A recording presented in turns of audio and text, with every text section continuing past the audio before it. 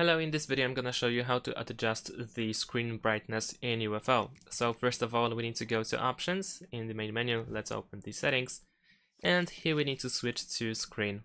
Here we will find the brightness, we can select this option and now we have access to this slider where we can move left and right on a D-pad or use your left analog stick and move it to the left or right in order to adjust the screen brightness.